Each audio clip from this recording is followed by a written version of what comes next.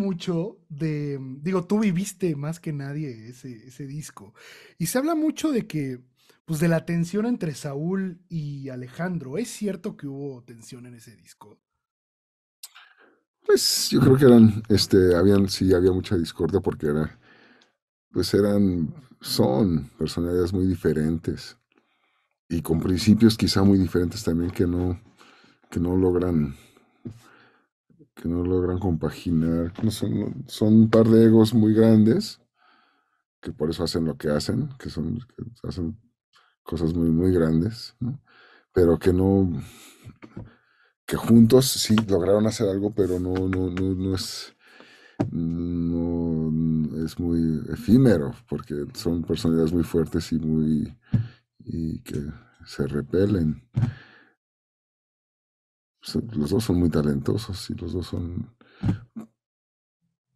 pero, pero sí, sí, había esa siempre tensión, como que no se entendían muy bien. Y, que por eso... que, falta de comunicación, como que no se sabían comunicar entre ellos muy bien.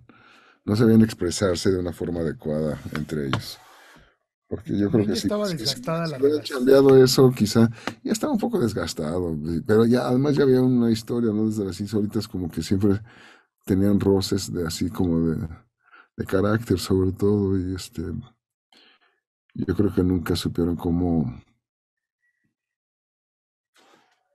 cómo comunicarse de forma adecuada, que pudiera funcionar. O sea, ¿qué rol tomaban tú y Alfonso, pues en esa época del nervio, pues entre Alejandro y Saúl? Ha de haber sido difícil para ustedes, ¿no? Porque me parece que Alfonso también es alguien muy, eh, con un temple bastante ecuánime. Sí, por lo general sí, claro. Pues eh, tratábamos de ser ahí como esa parte que balanceara un poco, pero eran personalidades muy fuertes, o sea, era inevitable que hubiera una separación ahí, yo creo, ya, ya era muy fuerte.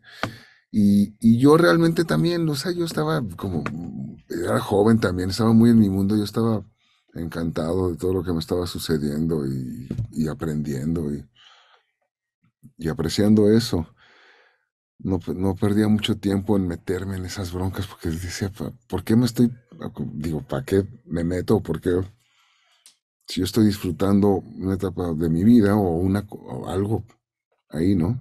Que para mí fue muy importante. Ay, lo que menos querías era, era broncas también, ¿no? O sea, no, o sea, ¿para qué me iba a meter en broncas? Yo, yo estaba disfrutando el momento. Yo no sabía que, o sea, no sí sabía que tenían sus tensiones, pero no me metía mucho tampoco. O sea, sí veía que, que había una falta de comunicación ahí importante, pero tampoco sabía cómo aconsejarles. Yo era joven y te digo, estaba disfrutando el momento y quizá ahorita podría hablarles de una forma más adulta, pero en ese intenso todavía era joven y medio, medio pendejo, ¿no? Claro.